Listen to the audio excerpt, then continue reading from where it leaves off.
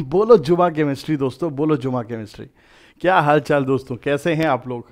चलिए भाई तो भाई साहब, दिवाली आ चुकी है और दिवाली आ गई है और हम लोगों ने अपने घरों में भाई साहब सफ़ाई करना शुरू कर रहे हैं। अब ये जो सफ़ाई का जब खेल होता है तो वहाँ पर दोस्तों हमें सीखने लायक एक कंसेप्ट होता है क्या? कंसेप्ट ऑफ़ इंट्रॉपी हम लोग भाई साहब, देखिए, हर जगह केमिस्ट्री ढूंढ ही लेते हैं। कि भाई साहब, कोई भी त्यौहार हो, कोई भी ओकेजन हो, कोई भी इवेंट चल रहा हो, वहाँ पे भाई साहब हम लोग को केमिस्ट्री अपनी मिल ही जाती है। मज़ा जहाँ ढूंढोगे वहाँ मिलेगा। पढ़ाई जहाँ ढूंढोगे वहाँ मिलेगा। कंसेप्ट जहाँ ढूंढोगे भाई साहब वहाँ मिलेगा। तो भाई साहब, आज हम लोग अपने थर्मोडाइनमिक्स के सीरीज़ में बहुत ही इंपॉर्टेंट बच्चों कंसेप्ट को देखने वाले हैं। एक अगले कंसेप्ट को समझने वाले हैं। फ़र्स्ट लॉ ऑफ़ थर्मोडाइनमिक्स के सारे सवाल सब कुछ हो चुके हैं। आज दोस्तों, एक बहुत ही ज़बरदस्त, अति उत्तम ज़बरदस्त कंसेप्ट हम लोग सीखेंगे किसका? Concept of entropy and enthalpy और किस तरीके से बेटा इस कंसेप्ट को हमने अप्लाई करना है आईआईटी मेंस एडवांस और नीट के सवालों में, इस पूरी पूरी चीज़ों को आज हम लोग क्लियर करेंगे। ठीक है? बच्चों देखिए एंट्रोपी का कंसेप्ट एक ऐसा कंसेप्ट जो कि फिजिक्स की थर्मोडाइनमिक्स में उतना ज़्यादा नहीं आता है केमिस्ट्री में ही आता है। और इंथैल्पी तो पूरी तरह से बेटा सिर्फ़ और सिर्फ़ केमिस्ट्री का ही पार्ट है। तो first law of thermodynamics physics में भी है केमिस्ट्री में भी है, लेकिन ये इंट्रॉपी का जो कंसेप्ट है, ये और इंथैल्पी मेनली बच्चों केमिस्ट्री का ही एक्सक्लूसिव पार्ट हो जाता है। तो कैसे इसको समझना है, क्या इसका मतलब है? आइए चलिए बच्चों, सारी की सारी चीज़ों को हम लोग समझते हैं। क्या बात है, बहुत अच्छी बात है। तो भाई साहब, सबसे पहले हमारे पास सवाल ये आता है कि भैया ये इंट्रॉपी है क्या? सबसे पहले दोस्तों हमारे पास सवाल आता है कि सर, ये इंट्रॉपी है क्या? दोस्तों देखिए इंट्रॉपी से हमारा तात्पर्य होता है कि entropy is the measure of entropy is the measure of degree of randomness disorderness present in system किसी भी सिस्टम में बच्चों, किसी भी सिस्टम में जो सिस्टम के जो कंस्टिट्यूएंट्स हैं, जो पार्टिकल्स हैं, या जो भी एलिमेंट्स हैं जो सिस्टम से बने हुए, वो एलिमेंट्स वो कंस्टिट्यूएंट पार्टिकल कितने ज़्यादा अनऑर्गेनाइज्ड हैं, कितने ज़्यादा डिसऑर्डर्ड हैं। कितने ज़्यादा बच्चों रैंडमनेस उनके अंदर है। इस चीज़ का मेज़रमेंट क्या होता है? सर एंट्रोपी ठीक है? मतलब समझिए बेटा, कितना ज़्यादा केओस है सिस्टम में, वो केओस का बेटा जो जो हौच है, जितनी जो भसड़ है, उसकी बेटा मेज़रमेंट को हम लोग क्या कहते हैं, सर? एंट्रोपी अब सवाल बच्चों ये आता है कि सर, ये भसड़ हो गई, ये रैंडमनेस हो गई, ये डिसऑर्डरनेस हो गई, ये जो केओस हो गया, इसकी मेजर करने की आवश्यकता क्या है? दोस्तों, इसको मेजर करने की आवश्यकता इसलिए है, क्योंकि इसी के द्वारा हम लोग कंसेप्ट ऑफ़ स्पॉन्टेनिटी स्पॉन्टेनिटी के बारे में बेटा चर्चा करेंगे। अब ये कंसेप्ट ऑफ़ स्पॉन्टेनिटी क्या होता है? बेटा कंसेप्ट ऑफ़ स्पॉन्टेनिटी जिसके कारण ये इंट्रॉपी का कंसेप्ट इजाद किया गया, उसको आइए समझते हैं। देखिए दुनिया में कुछ प्रोसेस ऐसे होते हैं जो अपने आप हो जाते हैं और दुनिया में कुछ प्रोसेस ऐसे होते हैं जिनको कराने के लिए हमको बेटा बाहर से पुश करना पड़ता है। जैसे कि बेटा जो गैस होती है वो अपने आप सर एक्सपैंड कर जाती है। गैस होती है सर वो अपने आप एक्सपैंड कर जाती है। हमें उसको करने के लिए सर कोई बाहर से बेटा मेहनत और प्रयत्न करने की आवश्यकता नहीं पड़ती है। लेकिन बच्चों लेकिन बच्चों समझिएगा, अगर मैं चाहता हूँ, लेकिन बच्चों समझिएगा, अगर मैं चाहता हूँ सर कि आइस जो है सर, अगर मैं चाहता हूँ सर, जो आइस जो है सर, वो सर फ्रीज आउट हो जाए सर, वो सर फ्रीज आउट हो जाए। सर, आइस फ्रीज आउट हो जाए कब? रूम टेम्परेचर पे। क्या बेटा रूम टेम्परेचर पे आइस अपने आप फ्रीज आउट हो सकती है? आंसर है नहीं। आप चाहते हो कि सर आइस अगर रूम टेम्परेचर पर फ्रीज आउट हो जाए तो आपको उसके लिए एक अलग से मशीनरी लगानी पड़ेगी। आपको उस रूम को बेटा ठंडा करना पड़ेगा, आपको फ्रीजर लगाना पड़ेगा, तब जाकर के वहाँ पे बेटा आइस फ्रीज आउट होगी। तो वहाँ पे हमको मेहनत करनी पड़ेगी, बाहर से बेटा वर्क करना पड़ेगा, बाहर से हमको पूरी मशीन लगानी पड़ेगी। Freezing of water freezing of water room temperature पे अपने आप बिना किसी एक्सटर्नल सपोर्ट के नहीं होगा तो ये क्या है? नॉन स्पॉन्टेनियस प्रोसेस इसको कराने के लिए आपको बाहर से फ्रीजर लगाना पड़ा तो ये नॉन स्पॉन्टेनियस प्रोसेस ये बिना बाहरी प्रयास के ये अपने आप नहीं होता है। लेकिन एक्सपेंशन ऑफ़ गैस क्या है सर स्पॉन्टेनियस प्रोसेस अपने आप हो जाता है। तो दुनिया में कुछ प्रोसेस ऐसे होते हैं जो अपने आप होते हैं। जैसे गैस का एक्सपेंशन पानी का ऊपर से नीचे गिरना। हमारे मन का मचलना। पढ़ने में बच्चा मन नहीं लगता है, सर, लेकिन मचलता बहुत है मन। सर खेल कूद में बहुत जाता है। जैसे मेरा मन करीना कपूर, कटरीना कैफ की तरफ़ अपने आप चला जाता है।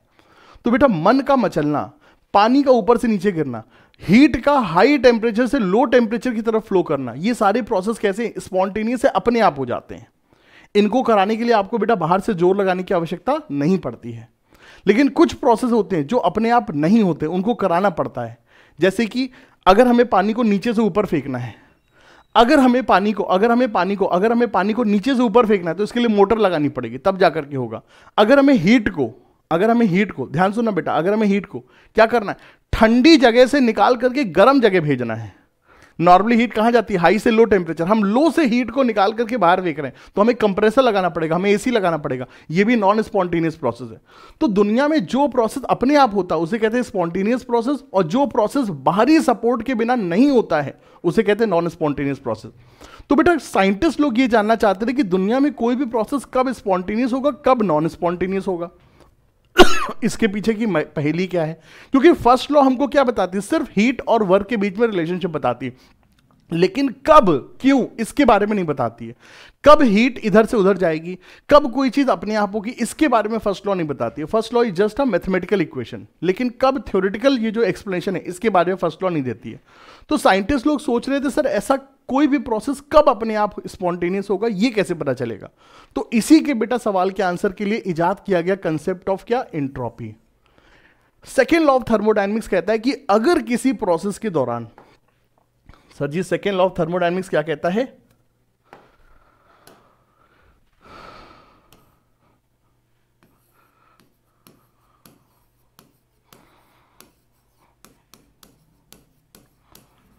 सेकेंड लॉ ऑफ़ थर्मोडाइनमिक्स क्या कहता है बच्चों?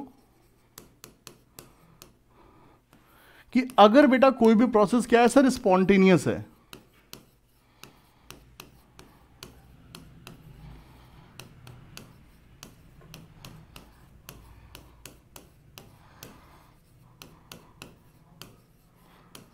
सर, अगर कोई प्रोसेस क्या है, सर स्पॉन्टेनियस है। तो बेटा जी, कोई भी प्रोसेस स्पॉन्टेनियस कब होगा? जब उस प्रोसेस के दौरान डेल्टा एस टोटल बेटा जी, कोई भी प्रोसेस स्पॉन्टेनियस कब होगा? जब उस प्रोसेस के दौरान बेटा डेल्टा एस टोटल मतलब क्या, sir delta S system plus delta S surrounding कोई भी प्रोसेस स्पॉन्टेनियस कब कब होगा? बेटा, जब उस प्रोसेस के दौरान डेल्टा एस टोटल मतलब delta S system plus delta S surrounding क्या होगा, सर? ग्रेटर देन ज़ीरो होगा।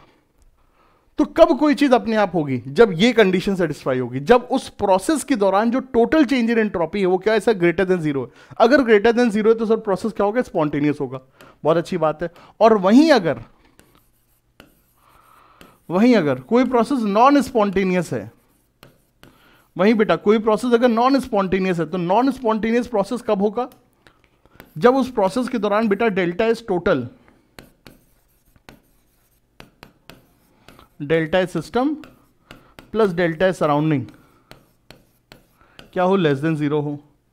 और कोई भी प्रोसेसर इक्विलिब्रियम कोई भी प्रोसेसर इक्विलिब्रियम इक्विलिब्रियम मतलब ना वो आगे जाएगा ना पीछे जाएगा। इक्विलिब्रियम मतलब ना वो प्रोसेस आगे जाएगा ना पीछे जाएगा। वो जहाँ है वहीं रह, रुका रहेगा। ना हमको खेलने का मन कर रहा है ना हमको पढ़ने का मन कर रहा है। ये इक्विलिब्रियम है। स्थिरता, हम केमिस्ट्री में कहते हैं स्थिरता। कोई भी प्रोसेस अपनी जगह पे जड़ है, स्थिर है, ना आगे जा रहा है, ना पीछे जा रहा है, ना उसका आगे जाने का मन है पीछे जाने का मन है। तो कोई प्रोसेस अगर इक्विलिब्रियम में है तो कोई भी चीज़ इक्विलिब्रियम में कब होगी? जब उस प्रोसेस की करस्पॉन्डिंग बेटा डेल्टा एस टोटल क्या होगा सर ज़ीरो होगा। जब उस प्रोसेस के दौरान सर डेल्टा एस टोटल क्या होगा सर ज़ीरो होगा। तो ये सर जी, यहाँ पर फंडा है। किसी भी प्रोसेस के दौरान अगर बेटा जी डेल्टा एस टोटल पॉजिटिव है तो स्पॉन्टेनियस होगा नेगेटिव है नॉन स्पॉन्टेनियस होगा, और अगर बेटा जी ज़ीरो है तो सर वो प्रोसेस क्या होगा सर इक्विलिब्रियम पे होगा। दैट इज़ बेटा सेकेंड लॉ ऑफ़ थर्मोडाइनमिक्स अब यही स्पॉन्टेनिटी को चेक करने के लिए क्या चाहिए? इंट्रॉपी चाहिए। और इंट्रॉपी का कंसेप्ट बेटा यहीं से आता है। अब सवाल यह है कि सर पहली बात तो इंट्रॉपी है क्या? दूसरी चीज़ क्या है कि सवाल इंट्रॉपी किस पे डिपेंड करती है? और तीसरा सवाल क्या है कि हम न्यूमेरिकल के पॉइंट ऑफ़ व्यू से इंट्रॉपी चेंज को कैलकुलेट कैसे करेंगे? तो आज हम लोग बेटा इन तीन चीज़ों के बारे में सर डिस्कशन करते हैं। क्या क्या पहली बात इंट्रॉपी क्या है? दूसरी चीज़ इंट्रॉपी किस पे डिपेंड करती है? और तीसरी चीज़ इंट्रॉपी हम लोग न्यूमेरिकल में कैसे कैलकुलेट करेंगे? इसके बारे में सर आज का लेक्चर पूरा सर कंप्लीट होने वाला है। आज हम पूरा का पूरा बेटा इंट्रॉपी को उधेड़ के रख देंगे। चलिए सर। तो बेटा जी, जैसा मैंने बताया कि सर इंट्रॉपी क्या है सर? इंट्रॉपी एक थर्मोडाइनमिक फ़ंक्शन है। इंट्रॉपी सर, एक थर्मोडाइनमिक फ़ंक्शन है। ये सर 100 परसेंट सर, ये स्टेट फ़ंक्शन है। और सर 100 परसेंट ये एक्सटेंसिव थर्मोडाइनमिक वेरिएबल है। एक्सटेंसिव थर्मोडाइनमिक वेरिएबल है। एक्सटेंसिव थर्मोडाइनमिक वेरिएबल है। बहुत अच्छी बात है। अब सर जी, सवाल ये आता है कि भैया जी इंट्रॉपी क्या है? तो जैसा कि मैंने बताया कि कहीं पर भी बेटा सिस्टम में जितनी ज़्यादा रैंडमनेस डिसऑर्डरनेस अनऑर्गेनाइज सिस्टम होगा, उसकी इंट्रॉपी बेटा उतनी ही ज़्यादा होगी। ठीक है सर? बहुत अच्छी बात है। तो इसका तात्पर्य क्या है? दोस्तों, आप अपने रूम को देखिए अभी समय। आपके घर वाले आपके मम्मी, पापा लोग क्यों दिवाली में बेटा सफ़ाई कर रहे हैं? क्योंकि अभी आपका जो रूम है सर हाईली हाईली डिसऑर्डर्ड है। हाईली सर डिसऑर्डर्ड है। अभी आपने अपने रूम की सर ये अवस्था कर दी है सर हाईली अनऑर्गेनाइज है। तो अभी आपके रूम की सर इंट्रोपी क्या है? बहुत ज़्यादा है। लेकिन दिवाली में लक्ष्मी मैया कब आती हैं? जब आपका रूम भाई साफ़ सफ़ाई होता है। भाई देखिए, देवी मतलब देवी माता तो तभी आएँगी जब आपका रूम सा देखिए साफ़ सुथरा होगा। तो देवी माता को बुलाने के लिए, लक्ष्मी गणेश को बुलाने के लिए सर हमको अपने रूम को साफ़ करना है। ठीक है तो इसीलिए सफ़ाई हो रही। तो अभी आपके रूम की इंट्रॉपी बहुत ज़्यादा है। मुन्ना लाल थोड़ा सफ़ाई कर लो, रूम को थोड़ा सा ऑर्गेनाइज कर लो, रूम की इंट्रॉपी थोड़ी सी कम कर लो। तो अभी आपके रूम की इंट्रॉपी क्या है सर बहुत बहुत ज़्यादा है। और आपका तो मन करता है कि ये इंट्रॉपी और बढ़ती जाए। आप तो चाहते हो आपका रूम और ज़्यादा अनऑर्गेनाइज हो। जैसे कि मेरे रूम में क्या है, मेरे बिस्तर पे मुझे किताब भी चाहिए, मुझे मेरे बिस्तर पे सर मंजन भी चाहिए, मुझे मेरे बिस्तर पे सब कुछ, जूते भी चाहिए, सब कुछ मुझे अगल बगल चाहिए। क्योंकि मैं भी अपनी ट्रॉपिक को सर बढ़ाना चाहता हूँ। तो हमारा और आपका जो नेचुरल फिनोमना क्या है कि सर, हम चीज़ों को सर अनऑर्गेनाइज करना चाहते हैं। हम लोग ऑर्गेनाइज्ड रूम को सर नहीं पसंद करते हैं। हम चाहते हैं कि हमारा रूम खूब अनऑर्गेनाइज हो। हम आते हैं स्कूल से बस्ता इधर, कपड़े इधर, ये उधर, वो उधर, किताबें इधर, क्योंकि हमारी नेचुरल टेंडेंसी क्या है सर? इंट्रॉपी को इंक्रीज करना। तो जितना ज़्यादा रूम मैसी होगा, उतना ज़्यादा रूम की सर क्या होगी? इंट्रॉपी हाई होगी। बहुत अच्छी बात है। अब चलिए अगला सवाल लेते हैं। बेटा, अगर मान लीजिए हमने किसी गैस को, सर, अगर मान लीजिए, सर, हमने किसी गैस को, सर, अगर मान लीजिए, सर, हमने किसी गैस को एक छोटे से, सर, कंटेनर में रखा हुआ है, सर, जैसे कि जो चने के, जो पार्टिकल्स है मान लीजिए गैस है तो बेटा जी, अगर मान लीजिए हमने इस गैस को एक छोटे से बेटा कंटेनर में रखा हुआ है तो अभी इसकी इंट्रॉपी क्या है? और अब बताइए कि अगर मैंने इस गैस को बेटा रिलीज़ कर दिया, अब ये गैस पूरे रूम में फैल गई, अब इसकी इंट्रॉपी क्या है? तो बेटा एक चीज़ समझिए आपको कहाँ पे मज़ा आएगा? सर, आपको कहाँ मज़ा आएगा? आपको किसी छोटे ग्राउंड में खेलने में मज़ा आएगा? या आपको किसी बड़े ग्राउंड में खेलने मज़ा आएगा? सर, सीधी सी बात है, सर, बच्चों को जितना बड़ा ग्राउंड मिलता है, उनको उतना मज़ा आता है। इसीलिए छोटे बच्चे जैसे ही किसी ग्राउंड में जाते हैं, सबसे पहले भाग करके उसको कवर करते हैं। क्योंकि वो पूरा उसको देखना चाहते हैं, ये पूरा मेरा एरिया है।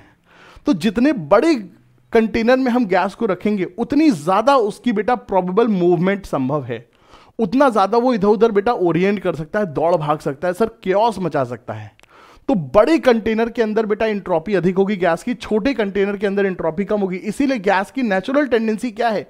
एक्सपैंड करने की, क्योंकि एक्सपेंशन से जब वो गैस के मॉलिक्यूल अधिक वॉल्यूम ऑक्यूपाई करते हैं तो उनकी इंट्रॉपी बढ़ती है। मैंने अब तक क्या बताया? मैंने बताया हमारे दिमाग की नेचुरल टेंडेंसी क्या है? भटकने की। हमारा दिमाग कभी बेटा कंसंट्रेट नहीं करना चाहता। हमारा दिमाग क्या चाहता है? इधर उधर भटकना चाहता है, क्योंकि हमारे दिमाग अपनी इंट्रॉपी को बढ़ाना चाहता है। हमारी जो खुद की पर्सनैलिटी वो क्या है? वो भी इंट्रॉपी बढ़ाना चाहती है। हम अपने रूम को सर क्योटिक करना चाहते हैं क्योस मचाना चाहते हैं, गंदा करना चाहते हैं, क्योंकि रूम की इंट्रॉपी बढ़ाना चाहते हैं। तीसरी चीज़ गैस हमेशा एक्सपैंड क्यों करती है? क्योंकि एक्सपेंशन से वॉल्यूम बढ़ता है और अधिक वॉल्यूम में गैस के मूवमेंट अधिक हो सकती है तो वहाँ पर भी इंट्रॉपी बढ़ जाती है। ठीक है, इसी तरीके से जब हम किसी चीज़ को हीट करते हैं तो हीट करने से भी क्या होता है मॉलिकुलर मूवमेंट बढ़ जाती है और मोशन जितना ज़्यादा होगा के और इंट्रॉपी भी सर उतनी हाई होगी। तो गर्म करने पे भी सर इंट्रॉपी बढ़ती है। तो मोटा मोटा बेटा इंट्रॉपी किन किन चीज़ों पे डिपेंड करती है सर वो अभी हमने आपको बताया सर चीज़ें। ठीक है? इंट्रॉपी क्या है? Is the measurement of degree of randomness और disorderness in system disorderness randomness किसके? सिस्टम के पार्टिकल की। अगला पॉइंट क्या है sir factors on which entropy depends sir factors on which entropy depends sir entropy हमारी किस किस चीज़ पे डिपेंड करती है? बच्चों, देखिए, जब भी हम पढ़ाई, सवाल के पॉइंट ऑफ़ व्यू से जब हम बातचीत कर रहे हैं, जब हम सवाल के पॉइंट ऑफ़ व्यू से बातचीत कर रहे हैं तो कौन कौन से इंपॉर्टेंट की पॉइंट्स है जिसके ऊपर इंट्रॉपी डिपेंड करती है? वो सर देखिए सबसे पहली चीज़ इंट्रॉपी बेटा जी किस पे डिपेंड करती है? फ़िज़िकल स्टेट पे।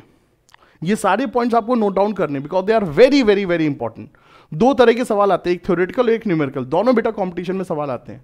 तो थ्योरेटिकल पॉइंट्स के लिए आपको ये सारे पॉइंट्स एकदम सिस्टमैटिकली इसी सीक्वेंस में आपको याद रखने हैं। और सारा बेटा कंसेप्ट आपको सिखा देंगे। कोई भी एग्ज़ाम के सवाल का कंसेप्ट आपसे मिस नहीं होगा, इसकी गारंटी है। तो सबसे पहली चीज़, बेटा जी इंट्रॉपिक इस पर डिपेंड करती है सर फ़िज़िकल स्टेट पे। फ़िज़िकल स्टेट मतलब क्या? कोई चीज़ अगर बेटा गैसियस स्टेट में होगी तो उसकी इंट्रॉपी बहुत अधिक होगी किससे? लिक्विड से।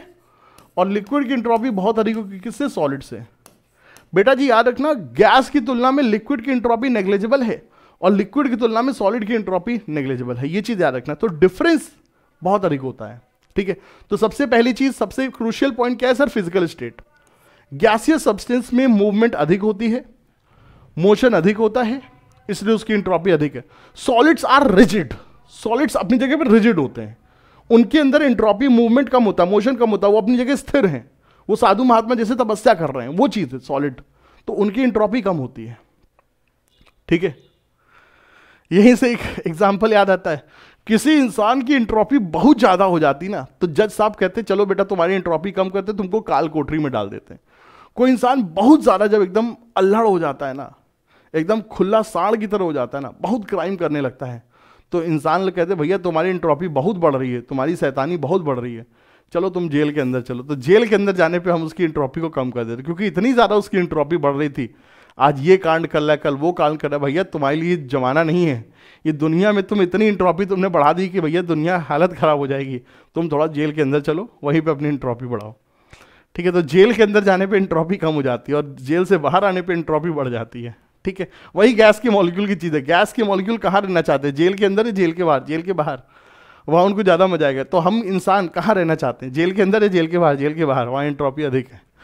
चलिए सर ढूँढने पे हर जगह हमको हमारी इंट्रॉपी मिल जाती है। चलिए सर ओके अगली चीज़ इंट्रॉपी किस पे डिपेंड करेगी? टेम्परेचर पे। जितनी ज़्यादा बेटा टेम्परेचर होगा, उतना ज़्यादा मोलिकुलर मोशन वाइब्रेशन और उतनी ज़्यादा उनकी इंट्रॉपी होती है। बहुत अच्छी बात है। तीसरा पॉइंट बहुत ज़्यादा बेटा सवाल आते हैं इस चीज़ के ऊपर। बेटा जी, ध्यान रखना, तीसरा पॉइंट बहुत ज़्यादा से सवाल आते हैं। ड्यूरिंग केमिकल रिएक्शन किसी भी केमिकल रिएक्शन के दौरान अगर हमें इंट्रॉपी चेंज मेजर करना है तो कैसे मेजर करते हैं?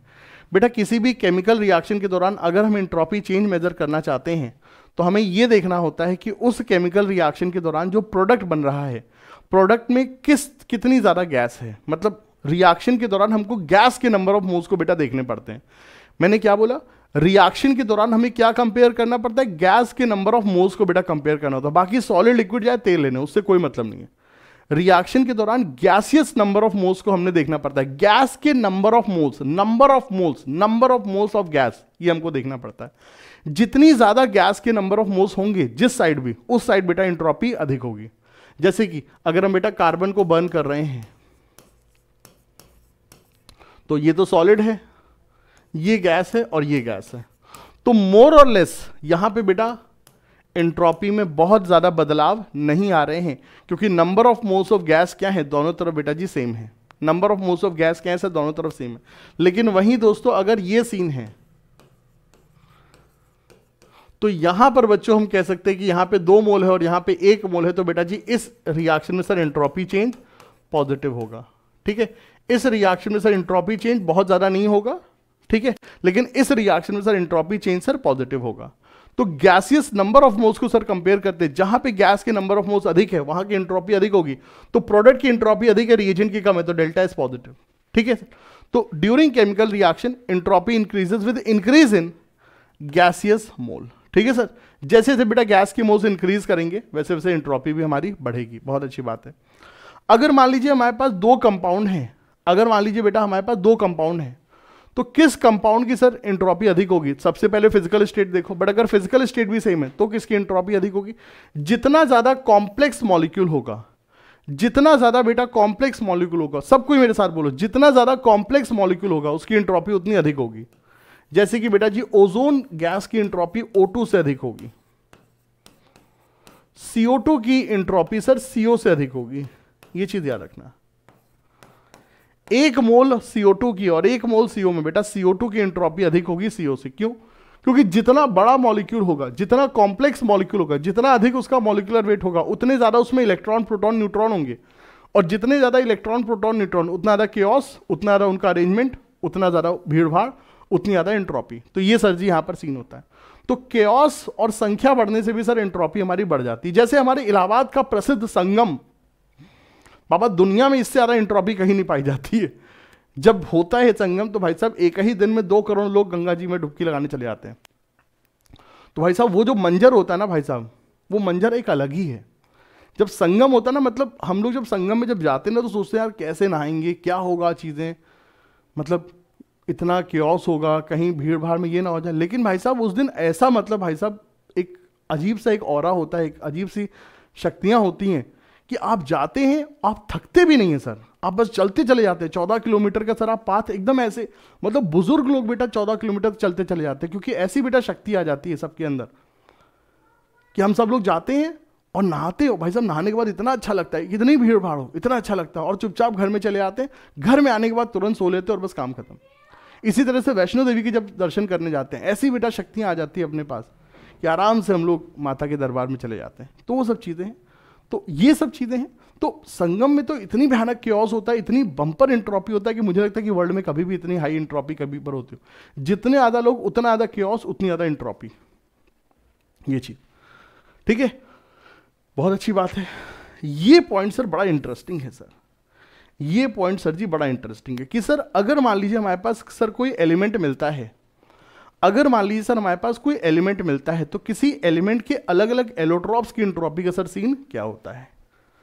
ठीक है? किसी एलिमेंट के अलग अलग एलोट्रॉप्स की इंट्रॉपी का सर सीन क्या होता है? आइए आपको बताता हूँ देखो बेटा, पहले तो ये टेबल लिख लो कि sir entropy of graphite is more than entropy of diamond. बहुत बड़ी बात तुमको लिखा रहा हूँ मैं। ठीक है? अगली चीज़ entropy of white phosphorus entropy of red phosphorus entropy of black phosphorus entropy of monoclinic sulphur entropy of rhombohedral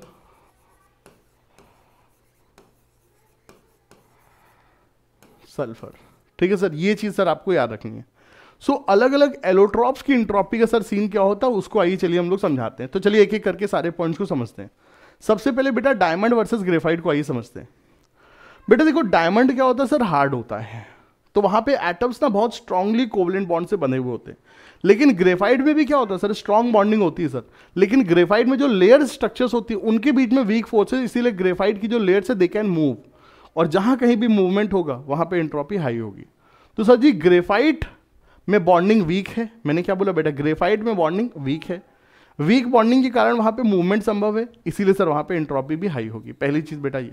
सबसे पहली चीज़ याद रखना कि डायमंड और ग्रेफाइट की एंट्रोपी में बहुत बड़ा अंतर नहीं होगा। मोर और लेस दे आर सेम लेकिन जो हल्का फुल्का अंतर होगा, उसको सर हम कंपेयर कर रहे हैं। ठीक है? अगली चीज़ बेटा आते हैं हम लोग।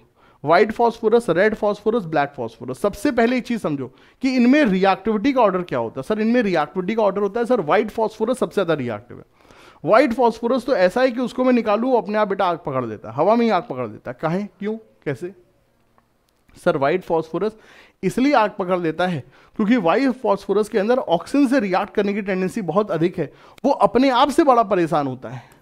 व्हाइट फॉस्फोरस में सर पी फोर अरेंजमेंट है। और ये जो पी फोर अरेंजमेंट है सर, इसमें इतना ज़्यादा एंगल स्ट्रेन है कि ये फटना चाहता है। ये फटना चाहता है। ये सर फटना चाहता है सर ये। ठीक है? ये सर अपने आप में सर फटना चाहता है। और तुरंत इसीलिए सर हाईली रिएक्टिव है ये। और वहीं ब्लैक फॉस्फोरस में बात करें तो सर यहाँ पे थ्री अरेंजमेंट होता है। यहाँ पे सर थ्री अरेंजमेंट होता है। ये उतना ज़्यादा रिएक्टिव नहीं है। रिएक्टिव नहीं है मतलब यहाँ पर एटम बहुत स्ट्रांगली बॉन्डेड है। एटम स्ट्रांगली बॉन्डेड है तो मूवमेंट कम होगी। मूवमेंट कम होगी इंट्रॉपी लेस होगी। सीधी सी बात। व्हाइट फॉस्फोरस मोर रिएक्टिव है, उसकी इंट्रॉपी अधिक है। ब्लैक फॉस्फोरस लेस रिएक्टिव है उसकी इंट्रॉपी कम है। रेड फॉस्फोरस में क्या होता है, सर? लीनियर स्ट्रक्चर होता है, सर।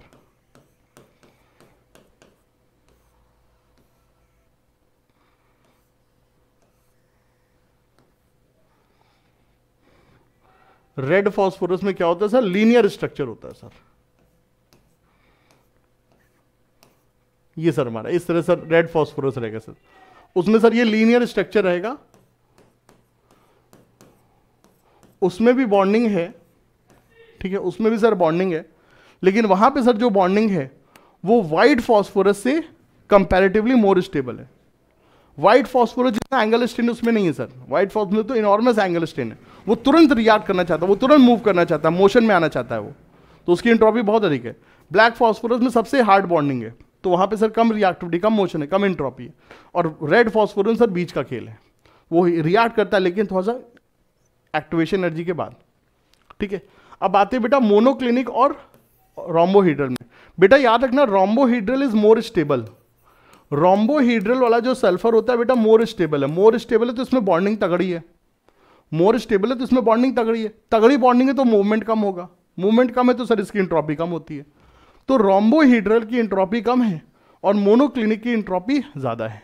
अब मैं अपने बच्चों को एक चीज़ बताना चाहता हूँ। टू बी वेरी फ्रेंकली बेटा देखो, मैं आपके साथ एकदम दोस्त की तरह से बात करता हूँ।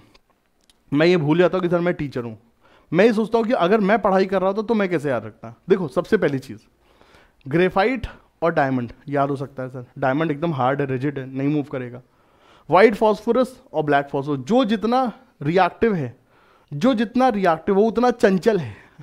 जो जितना रिएक्टिव वो उतना चंचल है ना? जो जितना रिएक्टिव उतना चंचल है। और जो ज़्यादा चंचल होगा उसकी इंट्रॉपी अधिक होगी। और जो कम रिएक्टिव है, वो एकदम दादाजी की तरह चुपचाप चेयर पे बैठ करके अखबार पढ़ रहा है टीवी देख रहा है। जो कम रिएक्टिव हो चुपचाप दादाजी की तरह सुबह बस कुर्सी पे बैठ गया, अखबार लेके बैठ गया। उसके अंदर चंचलता, उसके अंदर मूवमेंट कम है तो उसकी इंट्रॉपी भी कम है। तो बेटा ब्लैक फॉस्फोरस लेस रिएक्टिव इसीलिए बेटा उसकी इंट्रॉपी कम है। व्हाइट फॉस्फोरस मोर रिएक्टिव इसीलिए उसकी इंट्रॉपी ज़्यादा है। ठीक है सर। अब ये मोनोक्लिनिक और रोम्बोहिडल कैसे याद रखें? तो मैं इसको कैसे याद रखता हूँ, समझो। रोम्बोहिडल मतलब राजा। अरे सर, राजा सल्फ़र। रोम्बोहिडल मतलब क्या सर? राजा सल्फ़र। और राजा? ज़्यादा मूव करेगा, कम मूव करेगा। सर, राजा तो भाई बैठा रहेगा यार। राजा तो अपने सिंहासन बैठा रहेगा। ए दासी, जाओ चाय लेके आओ। ए भाई, जाओ जाओ जरा नाच के दिखाओ। खुद थोड़ी ना नाचता है। खुद थोड़ी ना नाचेगा। तो राजा तो चुपचाप बैठा रहता। है बैठा रहेगा तो उसकी इंट्रॉपी कम होगी। और मोनोक्लिनिक मोनोक्लिनिक ये बेचारा सैनिक के जैसा है। तो इसकी इंट्रॉपी इसको बेचारे काम धंधा करना पड़ेगा, राजा के लिए एकदम कदम ताल करके दिखाना पड़ेगा तो इसकी बेटा इंट्रॉपी हाई होगी, ठीक है? तो राजा सल्फ़र की इंट्रॉपी कम होती है और मोनोक्लिनिक सल्फ़र की सर इंट्रॉपी हाई होती है। बहुत बड़ी चीज़ सर बहुत ही बड़ी चीज़, ये चीज़ है। तो बेटा बताओ, क्या क्या मैंने आपको पॉइंट्स बताए? मैंने बताया सर इंट्रॉपी हमारा स्टेट फ़ंक्शन है इंटेंसिव एक्सटेंसिव थर्मोडाइनमिक वेरिएबल है अमाउंट पे डिपेंड करता है, और इंट्रॉपी किस पे डिपेंड करेगा? सबसे पहले फ़िज़िकल स्टेट फिर टेम्परेचर रिएक्शन में गैस के नंबर ऑफ़ मोल्स ठीक है? उसके बाद क्या सर? आइडियल गैस के केस में सर एक्सपेंशन मतलब गैसेस के केस में वॉल्यूम बढ़ने से भी in case of gas entropy is directly proportional to volume ठीक है? तो गैस के नंबर ऑफ़ मोल्स पे डिपेंड करेगा, और इसके अलावा जो सेम फ़िज़िकल स्टेट के मॉलिक्यूल है, उनमें कॉम्प्लेक्सिटी पे जिसका मॉलिकुलर वेट अधिक होगा, उसकी इंट्रॉपी भी अधिक होगी। ठीक है? और उसके बाद अलग अलग एलोट्रॉप्स हमने आपको रटा दिया। ठीक है सर? तो हमारे जो दो सवाल थे, उन दो सवालों के साथ देखिए हमने आंसर आपको बता दिए हैं। क्या हमने आपको बेटा दो सवाल बताए सबसे पहले तो इंट्रॉपी क्या होती है? दूसरी बेटा इंट्रॉपी किस पे डिपेंड करती है? इन दो चीज़ों को सर हमने आपको बता दिया है। बहुत अच्छी बात है। अब बेटा बात आती है सर तीसरी बात। अब सर आती है सर हमारे पास क्या सर? तीसरी बात। क्या? अब सर हमारे पास आती है सर तीसरी बात। क्या सर कि इंट्रॉपी चेंज को कैलकुलेट कैसे करेंगे? और ये सर बड़ा इंपॉर्टेंट पॉइंट है। इंट्रॉपी चेंज को सर कैलकुलेट कैसे करेंगे? ये सर बड़ा इंपॉर्टेंट पॉइंट है। पूरा पूरा डिस्कशन इसी पे ही रहेगा इंट्रॉपी चेंज को कैसे कैलकुलेट करें?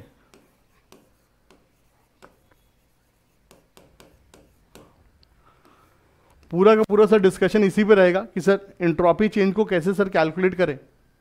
पहले एक बस इस लाइन को लिख लीजिए, उसके बाद टेंशन खत्म।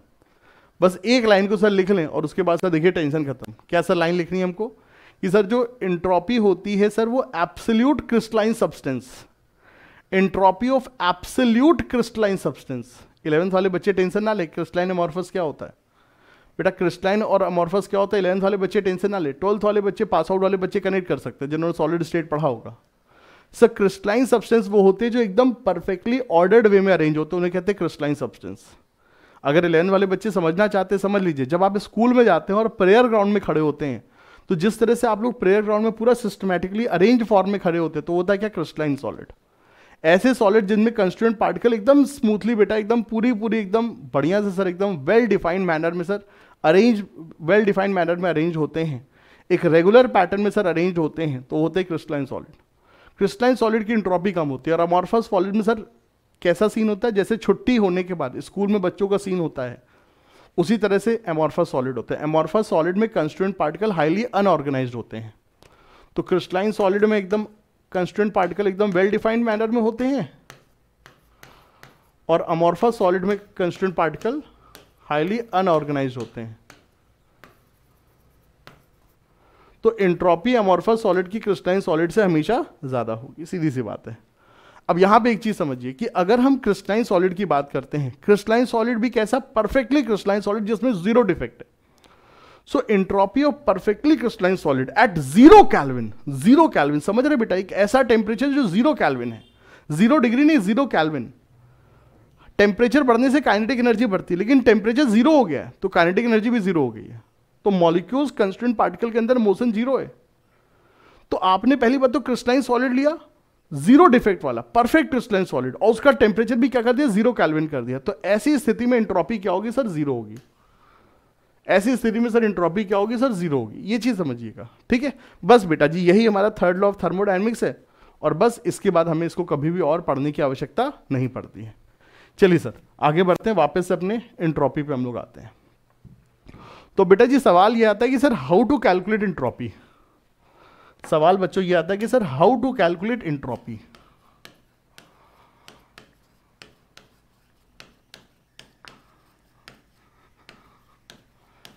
सवाल हमारे पास ये आता है, सर जी इंट्रॉपी को कैलकुलेट कैसे करें? इंट्रॉपी को सर जी कैलकुलेट कैसे करें? अब जो मैं बातें बोलूँगा ना they are very very important और जिन बच्चों के अंदर पेशेंस है क्योंकि जो बच्चे लीजिए सर वीडियो से चला करके सोचते हैं कि सब तो आता है, वो चले जाएँ, कोई दिक्कत नहीं। लेकिन जो बच्चे पेशेंस के साथ पूरा वीडियो लेक्चर देखते हैं, सिर्फ़ टेन परसेंट जनता होती है, सर। हर जगह हर जगह यही होती है, सर। सिर्फ़ टेन परसेंट जनता ही होती है जो बेटा पढ़ाई की चीज़ को सर पूरा देखती है, सर। ऑफलाइन हो जाए, चाहे ऑनलाइन हो जाए, हर जगह, सर, देखिए सीन यही है, ठीक है? किसी पे बेटा कोई दिक्कत नहीं है, किसी के ऊपर कोई फोर्स नहीं होता है। हर कोई इंसान अपने हिसाब से बेटा ज़िंदगी में डिसीज़न लेता है and every decision is respectable her decision की हमें रिस्पेक्ट करनी चाहिए। क्योंकि वही सही नहीं जो मैं बोल रहा हूँ। ज़िंदगी में वही सत्य नहीं जो मैं बोल रहा हूँ। सत्य कुछ उसके अलावा भी होता है। कई जगहों पे मेरे द्वारा बोली गई चीज़ें गलत भी हो सकती हैं। मेरे ओपिनियन गलत भी हो सकते हैं सर तो हर किसी के ओपिनियन का सर अपना रिस्पेक्ट होता है। ठीक है? ये चीज़। चलिए सर तो जो हमारे साथ लेक्चर में बने हुए हैं, अब उनको मैं बताऊँगा, बेटा, ये जो चीज़ है सर ये बहुत इंपॉर्टेंट है। इसमें बहुत मैसिव लेवल का सर कंफ्यूजन होता है। आइए सर समझते हैं। सर देखिए इंट्रॉपी चेंज को सर कैसे मेजर करें? तो बेटा जो इंट्रॉपी चेंज का जो फॉर्मूला है, सबसे पहली चीज़ समझिए। सर इंट्रॉपी क्या है सर? स्टेट फ़ंक्शन है। इंट्रॉपी क्या है सर? स्टेट फ़ंक्शन है। अब चूँकि इंट्रॉपी स्टेट फ़ंक्शन है, और जैसा मैंने आपको बताया था, सर यू हो गया, ठीक है? जितने भी स्टेट फ़ंक्शन होते हैं, उनमें जो फॉर्मूला होता है, वो प्रोसेस के हिसाब से बदलता नहीं है। They have only single formula path function में अलग अलग फॉर्मूले होते हैं अलग अलग प्रोसेस के लिए। जैसे वर्क डन का रिवर्सिबल के लिए अलग फॉर्मूला इरिवर्सिबल के लिए अलग। लेकिन स्टेट फ़ंक्शन के लिए ऐसा नहीं होता। स्टेट फ़ंक्शन में सिर्फ़ सिंगल फॉर्मूला होता है। तो बेटा इंट्रॉपी के लिए जो फॉर्मूला होता है, वो होता है सर हमारा क्या? Delta S A B delta S A B बराबर D Q reversible upon T A से बी तक।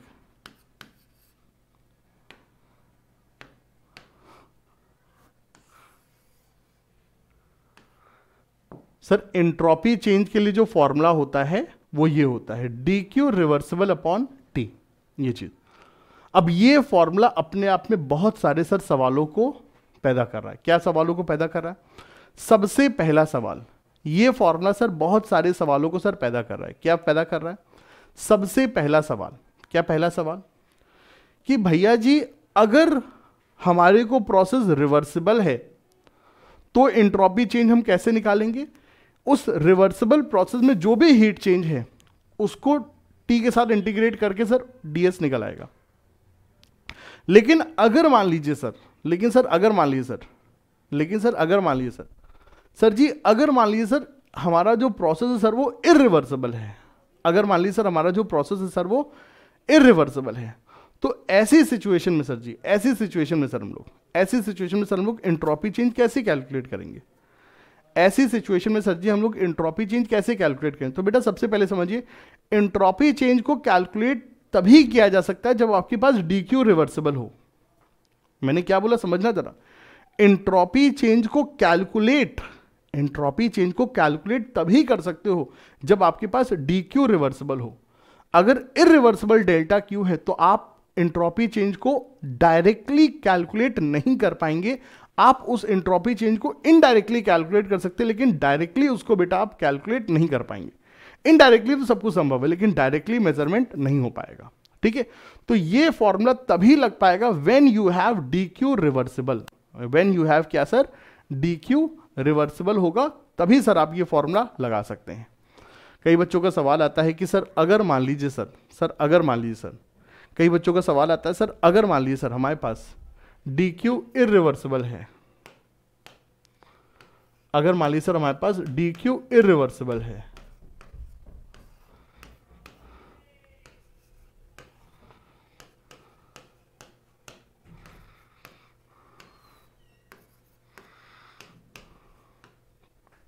सर, अगर मान लीजिए हमारे पास, सर डी क्यू इरिवर्सिबल है तो वहाँ पे क्या ये इक्वालिटी होगी? दोस्तों, बोलने में बहुत मुझे वैसा लग रहा है, क्योंकि रीज़न ये ना कि इस स्टेटमेंट में ही सर गलतियाँ हैं, इस मैथमेटिकल इक्वेशन में ही गलतियाँ हैं। इरिवर्सिबल हीट चेंज को इंटीग्रेट नहीं किया जा सकता है।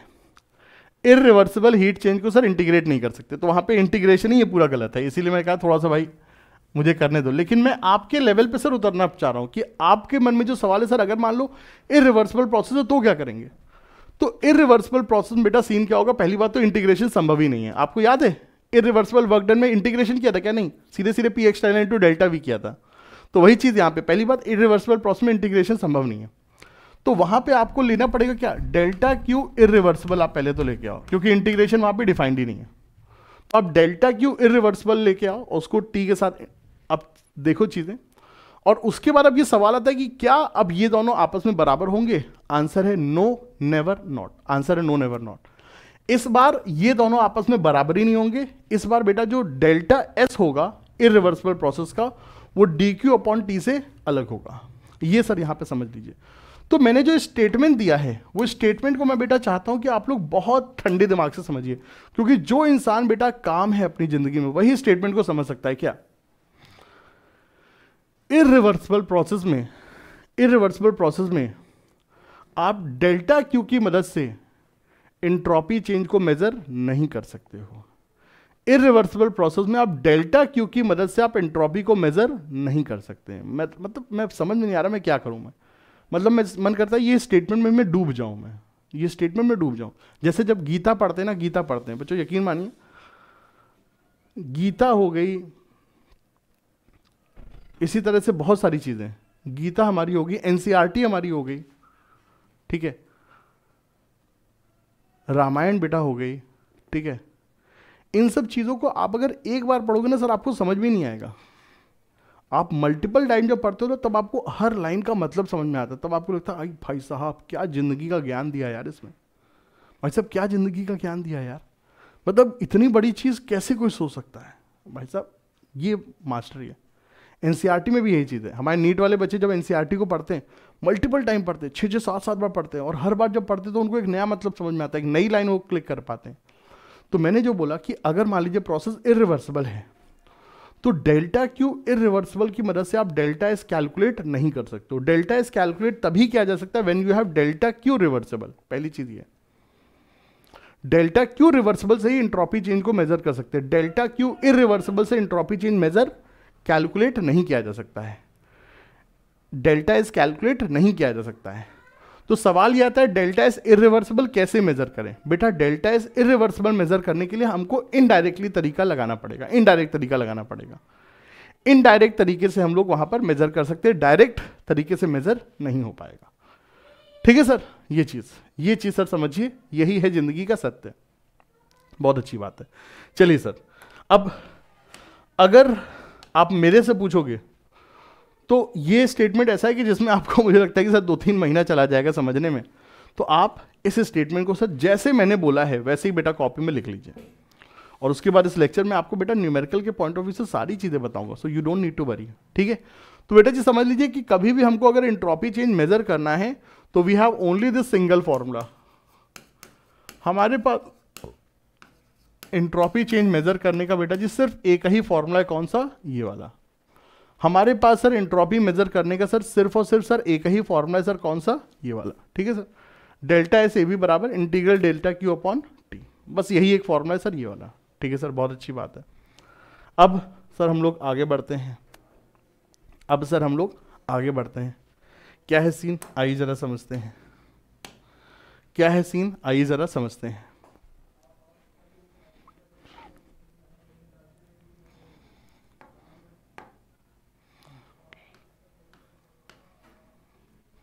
आइए दोस्तों जरा समझते हैं।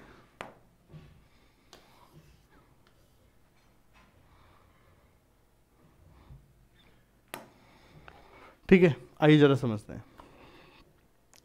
कभी भी आपको अगर इंट्रॉपी चेंज मेजर करना है तो आपको बेटा सिर्फ़ और सिर्फ़ एक ही फॉर्मूले पे पकड़ना है, कौन सा?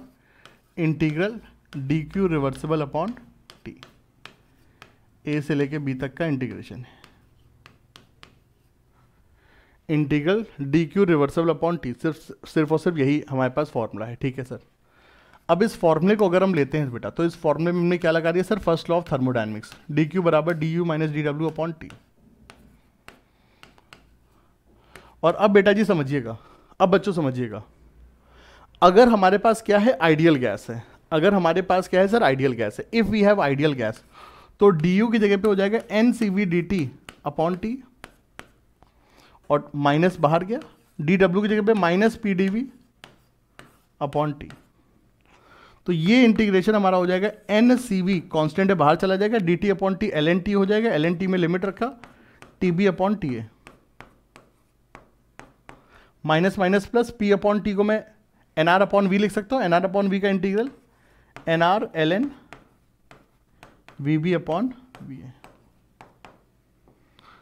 ये जो बेटा एंट्रोपी चेंज का जो सबसे ज़्यादा अप्लीकेबल फॉर्मूला है, ये फॉर्मूला कब लगाना है? ये फॉर्मूला हमको लगाना है for ideal gas ideal gas ideal gas कभी भी एक पॉइंट से दूसरे पॉइंट तक जा रही है। आइडियल गैस कभी भी बच्चों एक पॉइंट से दूसरे पॉइंट तक जा रही है। एक पोजीशन से दूसरे पोजीशन तक जा रही है। नो मैटर प्रोसेस रिवर्सिबल जा रही है। नो मैटर प्रोसेस इरिवर्सिबल जा रही है। नो मैटर प्रोसेस एडियाबेटिक है नो मैटर प्रोसेस आइसोथर्मल है नो मैटर आइसोबारिक है,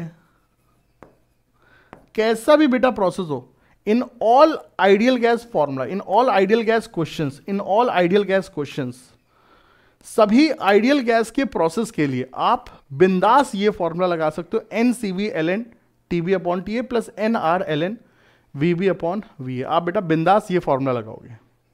यहाँ पर याद रखना एल एन है एल एन है। अगर आप एल की जगह पर लॉग टेन लेना चाहोगे तो साथ में two point three zero three भी लग जाएगा। Two point three zero three भी लग जाएगा। तो मैं जो बात बोलना चाह रहा हूँ ना, उसको समझो।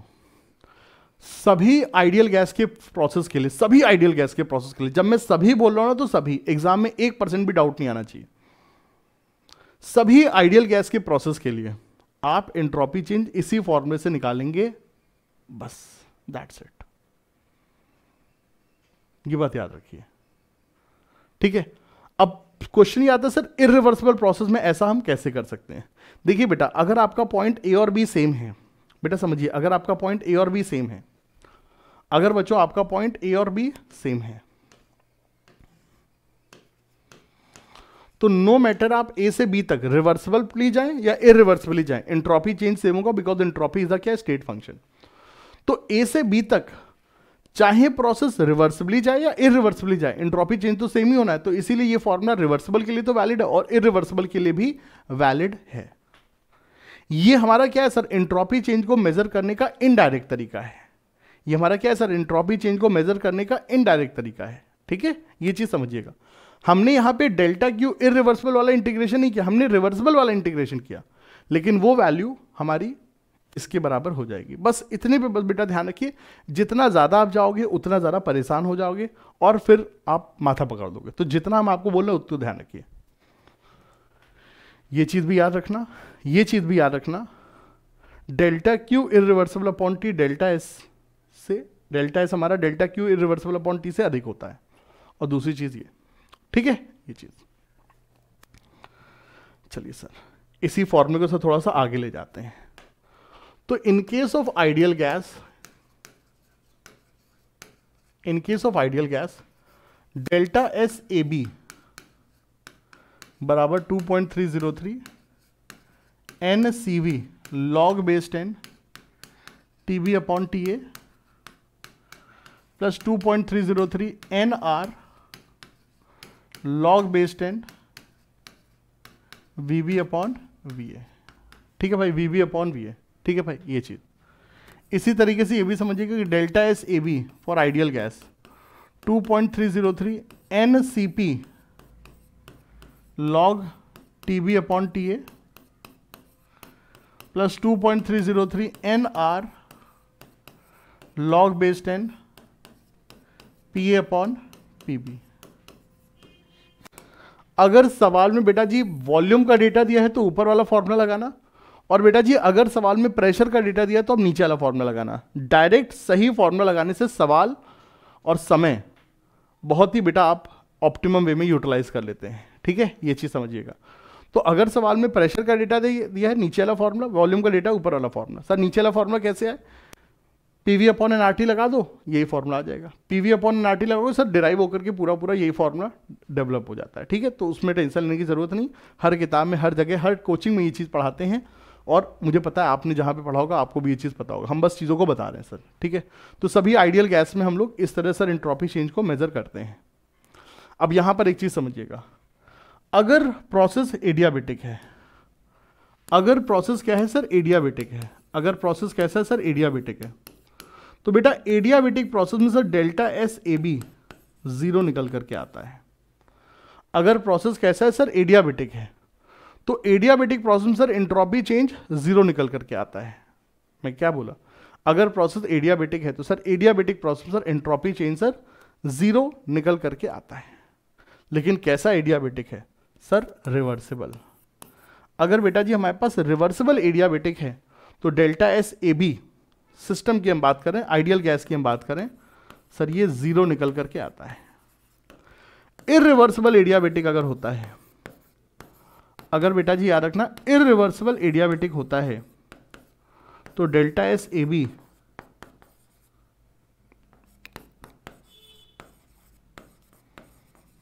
positive निकल करके आता है। इतनी बड़ी बात है कि क्या बताएँ?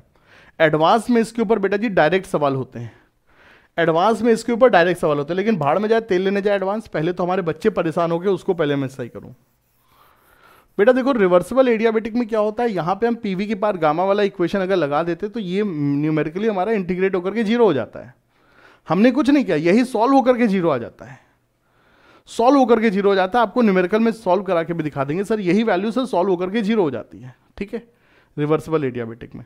अब सवाल यह आता है, सर इंट्रॉपी तो स्टेट फ़ंक्शन है तो जो चेंज रिवर्सिबल में हो, वही इरिवर्सिबल में हो। जो चेंज रिवर्सिबल में हो, वही इरिवर्सिबल में हो। जितना इंट्रॉपी चेंज रिवर्सिबल में होगा, उतना ही इंट्रॉपी चेंज इरिवर्सिबल में होगा। तो वहाँ ज़ीरो है तो यहाँ पर भी ज़ीरो होना चाहिए। मेरे बच्चे इसमें परेशान हैं। तो मेरे प्यारे बच्चों, मैं आपको पढ़ा रहा हूँ। मैं कोई क्रैश कोर्स नहीं करा रहा हूँ, मैं आपको पूरा थ्योरी पढ़ा रहा हूँ। और टू द पॉइंट थ्योरी पढ़ा रहा हूँ। फालतू की बकवास में मैं आपका समय नहीं खराब कर रहा हूँ।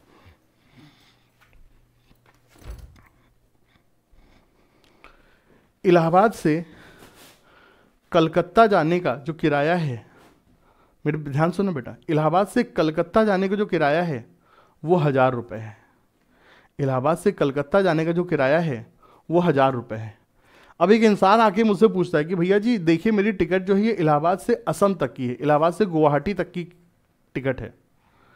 इलाहाबाद से गुवाहाटी तक का किराया बारह सौ रुपया क्यों है? इलाहाबाद से कलकत्ता तक का किराया हज़ार रुपया है तो इलाहाबाद से गुवाहाटी तक का जो किराया बारह सौ रुपया क्यों है? बेटा, जो मेरा ये जो एग्ज़ाम्पल है ना वही सवाल का आंसर है। देखो, एक बंदा पूछ रहा है, सर, इलाहाबाद से कलकत्ता तक का जो किराया है वो हज़ार रुपये है। तो इलाहाबाद से गुवाहाटी तक का किराया हज़ार रुपये क्यों नहीं है? वो बारह सौ क्यों है? अरे मुन्ना लाल गुवाहाटी अलग है, कलकत्ता अलग है। मुन्ना लाल गुवाहाटी अलग है, कलकत्ता अलग है। जब दोनों पॉइंट्स अलग अलग हैं तो उनका किराया भी अलग होगा। बस, बेटा जी, यही तो यहाँ पर बात है। जब हम किसी एक पर्टिकुलर पॉइंट से, जब हम किसी एक पर्टिकुलर पॉइंट से रिवर्सिबल एडियाबेटिक एक्सपेंशन करते हैं और उस पर्टिकुलर पॉइंट से इरिवर्सिबल एडियाबेटिक एक्सपेंशन करते हैं तो हमारी फाइनल स्टेट अलग अलग होती है। रिवर्सिबल एडियाबेटिक एक्सपेंशन में पीवी की वैल्यू और इरिवर्सिबल एडियाबेटिक एक्सपेंशन में पीवी की वैल्यू अलग अलग होती है। बहुत बड़ी बात बोल दी। रिवर्सिबल एडियाबेटिक एक्सपेंशन और इरिवर्सिबल एडियाबेटिक एक्सपेंशन में पीवी की वैल्यू अलग अलग होती है। तो चूँकि पीवी की वैल्यू अलग अलग है तो पॉइंट्स अलग अलग है। पॉइंट्स अलग अलग है तो बेटा इंट्रॉपी चेंज अलग अलग आएगी। बस बोलो, ताली बजाओ। ताली बजाओ, इसी बात पे ताली बजाओ। आज हमको ताली सुननी है। हमको कमेंट सेक्शन में ताली देखनी है अपनी इस बात के लिए। क्या बात बोली सर? क्या बात बोली सर आपने? अरे भैया यूट्यूब पे पढ़ा रहे हैं, कोई हल्का फुल्की चीज़ नहीं पढ़ा रहे हैं। ऐसे पढ़ा रहे हैं, जो सब लोग आकर के बोलते कि ये करना है तो आइए हमारे इस बैच में आइए, ये करना है तुम्हारे उस बैच में आइए। भाई, पूरी ईमानदारी से पढ़ा रहे हैं। और जो बच्चा ईमानदारी से पढ़ने के लिए है, आज की डेट में उसके लिए यूट्यूब पे बहुत कंटेंट है। हर महीने कोर्स लॉन्च करने वाली जगहों से सावधान रहें। ठीक है, ये चीज़ है। लेकिन भाई, सब कुछ ज़रूरी है। पैसा बहुत ज़रूरी है। पैसा बहुत ज़रूरी है, बच्चों। पैसे, बिना पैसे में जो सिचुएशन होती है, वो हम समझ रहे हैं चीज़ें। ठीक है? तो पैसा भी ज़रूरी है, सर। आप किसी को भी, सर, आप ब्लेम नहीं कर सकते हैं। आपके पिताजी का बिना पैसे के लिए काम करेंगे। अगर आपके पिताजी बिना पैसे के लिए काम करेंगे तो आपकी पढ़ाई, आपकी फ़ीस कैसे चलेगी? तो जो टीचर पढ़ाता है कहीं पर भी, जो टीचर बेटा पढ़ाता है कहीं पर भी, वो भी बिना पैसे के कैसे पढ़ा सकता है? आप उसको कैसे सर आप ये एक्सपेक्ट कर सकते हैं? कैसे एक्सपेक्ट कर सकते हैं? हम तो चलिए अभी थोड़ी बहुत पुरानी सेविंग्स से अपना घर चला रहे हैं, लेकिन आगे कैसे चलेगा? नहीं संभव है सर, नहीं संभव। लेकिन आपको मैंने वादा किया हुआ है कि आपके सिलेक्शन तक, मई तक, ये बंदा पूरा का पूरा फ्री ऑफ़ कॉस्ट सारा कंटेंट देगा, पूरा पढ़ाऊँगा आपके साथ, पूरा रात रात भर पढ़ाऊँगा और ये गारंटी है सर चीज़ें। लेकिन यहाँ पर भी समझिए सर, मैं पूरी तरह से यहाँ पर भी मैं देखिए, आपको मैं फ्री में नहीं पढ़ा रहा हूँ। मेरा यहाँ पर भी बेटा देखिए, क्या कहते हैं इंटरेस्ट है। मेरा भी देखिए, यहाँ पे इंटरेस्ट है कि भाई मैं फ़ेमस होना चाहता हूँ, सर। मैं यूट्यूब पे अपना फ़ेमस होना चाहता हूँ मैं। मुझे यहाँ पर फेम का मैं भूखा हूँ। आप देखिए, मेरे वीडियोस में देखिए ऐड भी चलते हैं, सर। मोनेटाइजेशन भी होता है। हाँ बहुत पैसा नहीं आता है, सर।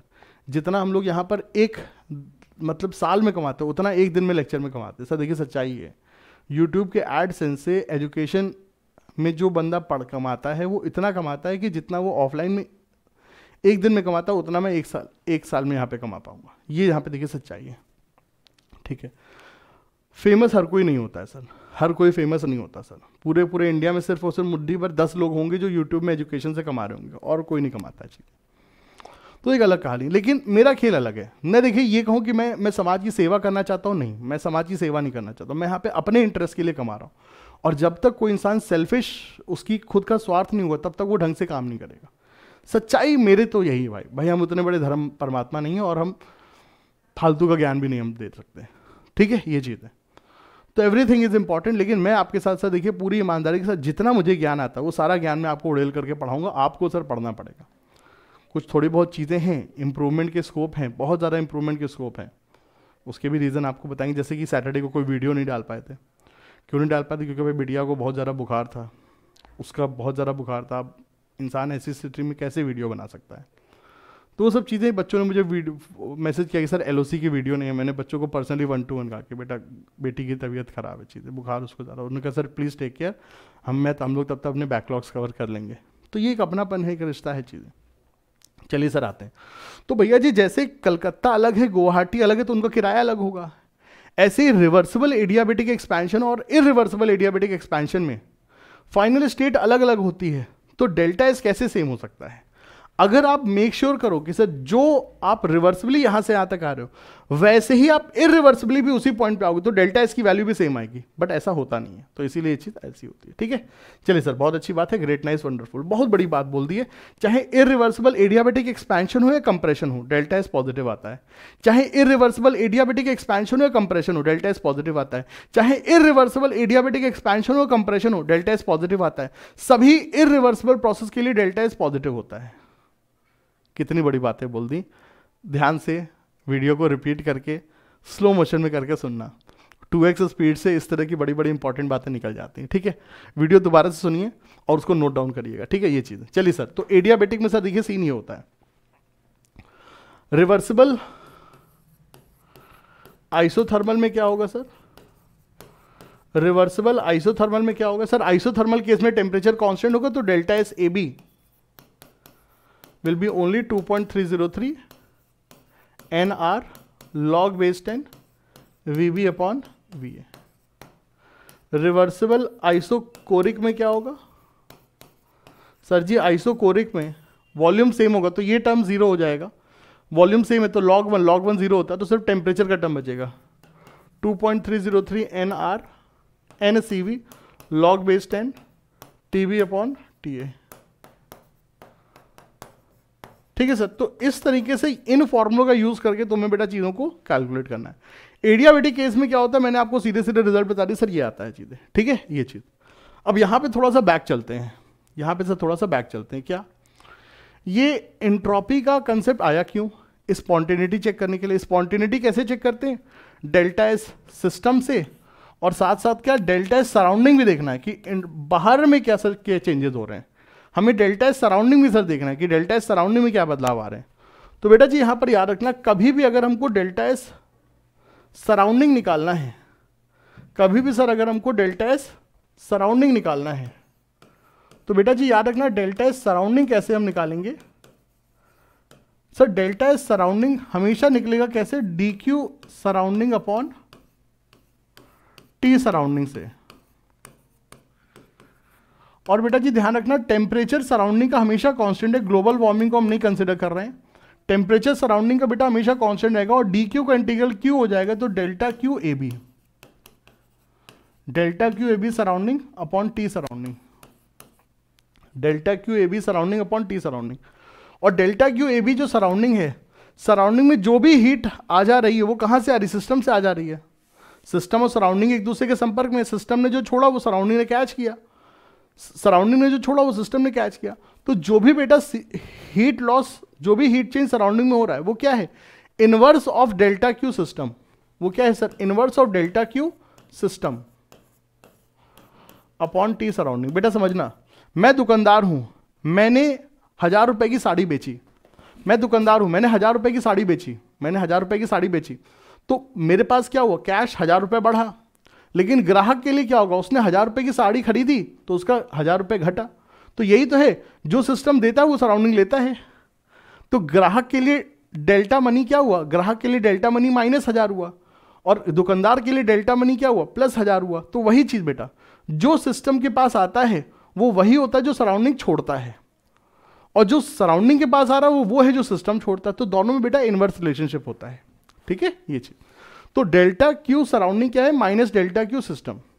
तो सभी केसेस में, in all cases, delta S surrounding, चाहे कुछ भी हो, in all cases, in all cases, मैंने क्या बोला? In all cases, delta S surrounding, कहाँ से निकलेगा? Minus delta Q system upon T surrounding से ही निकलेगा।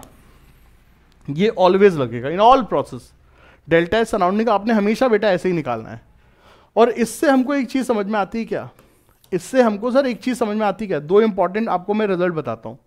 सबसे पहली चीज़ रिवर्सिबल एडियाबेटिक प्रोसेस में रिवर्सिबल एडियाबेटिक प्रोसेस में डेल्टा एस सराउंडिंग ज़ीरो होगा और इरिवर्सिबल एडियाबेटिक प्रोसेस में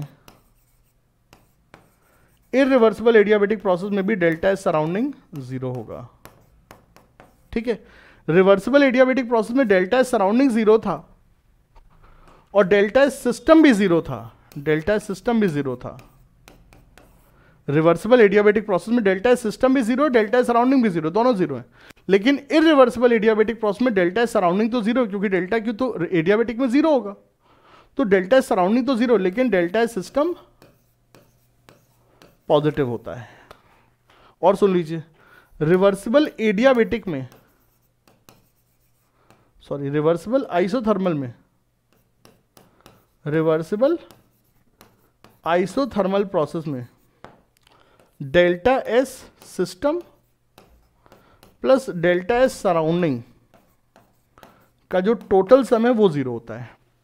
रिवर्सिबल आइसोथर्मल प्रोसेस में delta S system plus delta S surrounding इनका जो टोटल सम है सर वो हमारा ज़ीरो होता है। ये इंपॉर्टेंट सर डेरिवेशन है जो कहाँ से आते हैं सर सीधे सीधे वैल्यू रख करके आते हैं but they are very very very important they are very very very important they are very very very important ठीक है? सबसे पहली चीज़ रिवर्सिबल प्रोसेस में डेल्टा एस टोटल ज़ीरो होगा। रिवर्सिबल प्रोसेस में डेल्टा एस टोटल ज़ीरो होगा। Reversible process में डेल्टा एस ज़ीरो है। रिवर्सिबल प्रोसेस में डेल्टा एस ज़ीरो है। Delta S total delta S total delta S total delta S total delta S total delta S total reversible isothermal में ना system वाला zero है, ना surrounding zero लेकिन total zero है। Reversible adiabatic में. Numerically delta S total तो zero ही होगा.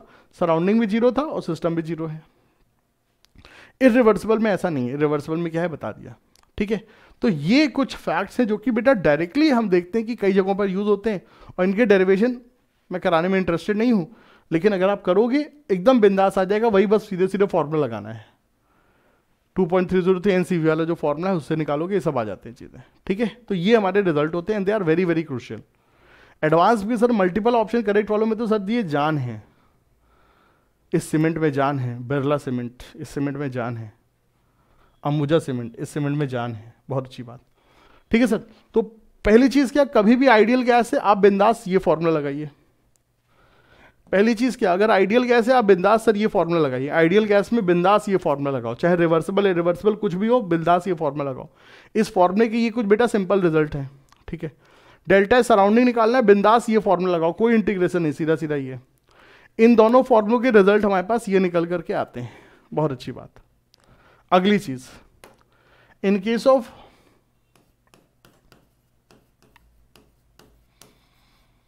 मेटल बेटा, अगर मान लीजिए सवाल में हमारे पास मेटल है, लोहे का पीस है एल्यूमिनियम का पीस है, हमारे पास पानी है in case of metal in case of water non ideal gas है। तो क्या करेंगे? तो इंट्रॉपी चेंज कैसे निकालेंगे? तब एनसीवी वाला फॉर्मूला गलत हो जाएगा तो कैसे इंट्रॉपी चेंज निकालेंगे? तो in those cases delta S A B बराबर D Q reversible upon T और चूँकि हमारे बच्चों ने हमारा पिछला वीडियो देखा था, पिछला वीडियो किसके ऊपर था? हीट कैपेसिटी के ऊपर। तो बच्चों को याद है सर हीट निकालने का फॉर्मूला क्या होता है sir? N C D T हमारे बच्चों को याद है सर मोलर हीट कैपेसिटी से डेल्टा क्यू निकाल सकते हैं। मोलर हीट कैपेसिटी से डेल्टा क्यू निकाल सकते हैं और डेल्टा क्यू का फॉर्मूला क्या होता है? N C M D T अब बेटा इसको अगर हम इंटीग्रेट करेंगे एन कांस्टेंट है मोलर हीट कैपेसिटी भी कांस्टेंट होती है डी टी अपॉन टी का इंटीग्रल एल एन टी हो जाएगा लिमिट रखेंगे L N T B upon T A L N की जगह पे बेस टेन रखेंगे तो two point three zero three N C M log base ten T B upon T A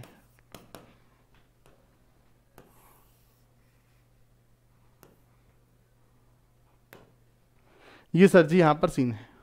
तो delta S A B बराबर this sir ji delta S A B बराबर this ये sir ji यहाँ पर scene है। Delta S A B बराबर sir this ठीक है भाई, ये हमारे पास सर जी यहाँ पर सीन होगा, ठीक है? तो entropy change entropy change in case of non ideal gas system sir हमको इस तरह सर हमको यहाँ पर निकालना होगा। बहुत अच्छी बात है। नॉन आइडियल सिस्टम के लिए सर हमें इंट्रॉपी चेंज इस तरह से सर हमको यहाँ पर निकालना होगा।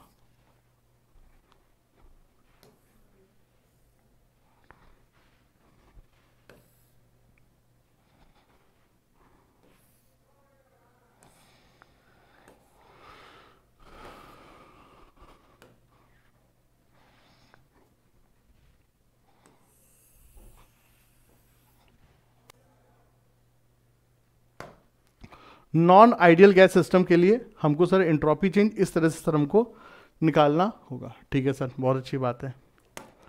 बेटा, कई बार क्या होता है ना कि सर हमारे पास फेस ट्रांजिशन होता है। फेस ट्रांजिशन होता है फेस चेंज होता है। जैसे कि मान लीजिए बेटा सॉलिड से लिक्विड हो रहा है। लिक्विड से वेपराइजेशन हो रहा है। उस तरह की सिचुएशन तो कभी बच्चों अगर फेस चेंज हो रहा है तो वहाँ पर क्या होता है? देखो, अगर मान लो कोई भी सब्सटेंस जब मेल्ट आउट होता है तो मेल्टिंग के दौरान क्या होता है? सर, उसका टेम्परेचर कांस्टेंट होता है, लेकिन उसकी पोटेंशियल एनर्जी बदलती है। मेल्टिंग के दौरान क्या होता है? टेम्परेचर सेम रहता है, लेकिन उसकी पोटेंशियल एनर्जी उसकी फ़िज़िकल स्टेट बदलती है तो पोटेंशियल एनर्जी में चेंज आता है। तो वहाँ पे भले ही बेटा टेम्परेचर कांस्टेंट है बट एनर्जी सर वहाँ पर लगती है चीज़ें। अब वो जो एनर्जी कहाँ जाती है, सर, वो इंट्रॉपी चेंज करने में जाती है। जैसे कोई सॉलिड लिक्विड में जा रहा है, सर इंट्रॉपी बढ़ रही है। सॉलिड लिक्विड में जा रहा है इंट्रॉपी बढ़ रही है। वहाँ पर ये फॉर्मूला नहीं लगा सकते क्योंकि ये फॉर्मूले तो इंट्रॉपी चेंज ज़ीरो आएगा। क्योंकि ये फॉर्मूला कब लगता है? नॉर्मल केस में लगता है हीटिंग वीटिंग में लगता है। अगर फेस चेंज हो रहा है तो उस दौरान टेम्परेचर कॉन्स्टेंट होता है। तो वहाँ पे सर हमको क्या फॉर्मूला लगाना है? वहाँ पे बताते हैं हम, देखिए। देखिए, अगर फेस चेंज हो रहा है तो वहाँ पे सर टेम्परेचर कांस्टेंट होता है। वहाँ पे सर टेम्परेचर कांस्टेंट होता है। ठीक है? तो फेस चेंज के दौरान सर जो डेल्टा एस ए बी होगा लिक्विड मतलब हम कह सकते हैं कि मेल्टिंग हो रही है, या फिर मतलब मेल्टिंग को फ्यूजन भी कहते हैं, और या फिर वेपराइजेशन हो रहा है। तो उस दौरान सर क्या होता है सर? उस दौरान सर हम लोग को याद रखना है कि डी क्यू अपॉन टी में टेम्परेचर कांस्टेंट होगा, वो इंटीग्रेशन के बाहर चला जाएगा। ये सर बेटा डी क्यू हो जाएगा, और अल्टीमेटली ये delta Q A B upon T हो जाएगा। वहाँ पे सर ये फॉर्मूला लगेगा। तो मेल्टिंग अगर हो रही है तो मेल्टिंग पॉइंट पे हो रही है तो मेल्टिंग पॉइंट का टेम्परेचर डिनोमीटर में लेना है। और उस मेल्टिंग के दौरान तुमने कितनी हीट दी, वो तुमने सर रखना है। मान लो वेपराइजेशन हो रहा है तो वेपराइजेशन में बॉइलिंग पॉइंट आपने टेम्परेचर यहाँ रखना है। और उस वेपराइजेशन के दौरान तुमने कितनी हीट दी, वो तुमने न्यूमरेटर में रखना है। तो that's how you are going to calculate क्योंकि मेल्टिंग और वेपराइजेशन के दौरान या रिवर्स हो रहा है, उन दोनों प्रोसेस के दौरान टेम्परेचर इज़ कॉन्स्टेंट ठीक है? तो वहाँ पे सर इंटीग्रेशन में टेम्परेचर बाहर चला जाएगा। तो ये बेटा मोटे मोटे तौर पे सर हमको देखिए चेंजेस आते हैं इंट्रॉपी को कैलकुलेट करने के लिए। ठीक है सर? तो बेटा सारा खेल क्या था? इंट्रॉपी क्या है? इंट्रॉपी का क्यों हम लोग पढ़ रहे हैं? क्योंकि जिससे हम स्पॉन्टेनिटी चेक कर सकें कि कोई चीज़ स्पॉन्टेनियस है या नहीं है। इंट्रॉपी चीज़ किस पे से डिपेंड करती है? सारे पॉइंट बताते हैं। इंट्रॉपी कैलकुलेट कैसे करोगे? ये भी बता दिया। ठीक है? बस इतना ही सत्य है। अब इस सत्य को मैं चाहे एक घंटे में पढ़ाऊं, जैसे कि हम लोग का जो लेक्चर अराउंड एक घंटे का हो गया, या फिर मैं इस सत्य को बेटा मैं आपको पाँच घंटे में पढ़ाऊँ। अल्टीमेटली खेल इतना ही है और इसके अलावा कुछ भी बेटा थ्योरी नहीं है, ये मैं आपको गारंटी के साथ दे सकता हूँ। ना ही मेंस में होगी, ना एडवांस में होगी, ना नीट में होगी। बस बेटा सच्चाई इतनी ही है, बस सच्चाई इतनी है। अब चूँकि ये सेशन अपना देखिए, एक घंटे का हो गया है और मैं किसी भी अपने वीडियो लेक्चर को एक घंटे से ऊपर नहीं ले जाना चाहता हूँ, क्योंकि मेरे ये जो वीडियो है, ये आपकी कोचिंग के एक्स्ट्रा हैं। मुझे पता है आपके ऊपर से देखिए, बहुत बड़ा सा लोड रहता है, आपके ऊपर बहुत लोड रहता है। आपके ऊपर जो लोड है, उसकी कोई सीमा नहीं है चीज़ें। और हम उस लोड को समझते हैं, क्योंकि सास भी कभी बहू थी, टीचर भी कभी स्टूडेंट था, बंदे ने भी कभी जेई की प्रिपरेशन की थी, ठीक है तो हम जानते हैं चीज़ों को। और मैं कभी भी किसी बच्चे को ये नहीं कर रहा हूँ कि वो अपनी कोचिंग को छोड़ करके मेरे वीडियो लेक्चर देखे, नो, नेवर नॉट। जहाँ पढ़ रहे हो, जिस टीचर से पढ़ रहे हो, बहुत अच्छे टीचर हैं। साल भर से उनसे पढ़ रहे हो, उनकी रिस्पेक्ट करो, उनको पढ़ते रहो। लेकिन अगर आपको मेरी ज़रूरत है तो आप उस क्लासेस के अलावा इन क्लासेस को करिए, लेकिन ये classes they are not the ultimate thing ये क्लासेस को देख करके आपका जेई में सिलेक्शन होगा, ये गलत है। और मैं कभी भी, जब भी पढ़ाया हूँ, जहाँ कहीं भी पढ़ाया मैंने वहाँ पर बेटा पढ़ाते समय झूठ नहीं बोला है चीज़ें। ठीक है, ये चीज़ समझ लीजिए। तो ये सच्चाई सर, आप सोचो कि सर ये वीडियो लेक्चर देख करके आपका सिलेक्शन होगा? आंसर है नो नेवर नॉट सवाल करने पड़ेंगे। सर, सवाल करने पड़ेंगे। लेकिन लेकिन पहले इन्फॉर्मेशन तो पता होनी चाहिए। तो मैंने आपको ये इन्फॉर्मेशन दे दी है। कल मैं आपको इसके कुछ सवाल कराऊँगा। जेई मेन एडवांस के कुछ सवाल कराऊँगा। इंट्रॉपी कैलकुलेशन के सारे सवाल कराऊँगा। मेन्स एडवांस नीट सब कुछ आपको क्लियर करवा देंगे। लेकिन बेटा वीडियो लेक्चर देखने के बाद जैसा मैं हमेशा कहता हूँ, जब तक सेल्फ स्टडी नहीं करोगे, जब तक खुद से पेन चला के सवाल नहीं करोगे, जब तक खुद से आंसर नहीं आएगा, तब तक सर कॉन्फिडेंस नहीं आएगा। ठीक है सर ये चीज़। तो हम आपका बहुत ज़्यादा समय नहीं लेंगे। इस सेशन को करते हैं, यहीं पे समाप्त। कल आपको इंट्रॉपी के क्वेश्चन आंसर्स अपलोड करा देंगे और उसके बाद इंथैल्पी एंड देन हम लोग थर्मोकेमिस्ट्री पे आएँगे एंड देन डेल्टा जी तो बहुत ही जल्दी हम लोग इस थर्मोडाइनमिक्स के पूरे के पूरे पार्ट को बेटा कवर अप कर देंगे and then we will move on to equilibrium ठीक है? शेड्यूल पे सर काम करना है सर शेड्यूल पे देखिए काम करें कि किस तरह से अपने इस यूट्यूब की जर्नी को सिंक्रोनाइज करें। जेई का सिलेबस आ चुका है। बेटा बहुत ही जल्दी सब कुछ एकदम क्लियर कट हो जाएगा। आप मत करिए, बस शेड्यूल पे काम चल रहा है चीज़ें। बहुत ही जल्दी सर आपको पूरा शेड्यूल मिल जाएगा कि किस तरह से हम लोग के आगे वीडियो लेक्चर्स आएँगे और आप, हमसे क्या क्या आप एक्सपेक्ट कर पाएँगे। ठीक है? बच्चों ने ऑर्गेनिक रिएक्शन का चार्ट मांगा था, दे दिया। ठीक है? पूरी ऑर्गेनिक रिएक्शन लिखी हुई है। आप उसको पढ़िए रिविजन रिएजेंट को रिवाइज करिए सब। शॉर्ट्स पे भी अब हमने सर रिएजेंट डालने शुरू कर दिए हैं। एल आई एच फोर की chemistry N A B H four की केमिस्ट्री इसी तरह से छोटे छोटे कंसेप्ट एक एक मिनट में सर आपको रिवाइज करवा देते हैं चीज़ें। ठीक है? तो सारी चीज़ें सिंक्रोनाइज कर रहे हैं बट एक सिंगल वन मैन आर्मी है तो थोड़ा सा बेटा फ्लॉज हैं, उन फ्लॉज पे भी काम चल रहा है। और कोशिश करते हैं कि पूरा इसको एकदम बढ़िया सिंक्रोनाइज करें। आप लोगों का फीडबैक बहुत अच्छा आता है कि, सर, आप थंबनेल पे काम करिए, सर, ऐसा करिए, वैसा करिए, बहुत ही बहुत प्यार, बहुत अपनापन सा है चीज़ें। उस पर भी सर देखिए, पूरा सब कुछ है, ठीक है? Thank you so much thank you so much बस एक ही चीज़ कह सकते हैं थैंक यू ठीक है? चलिए भाई thank you so much bye bye take care दुआओं में याद रखना।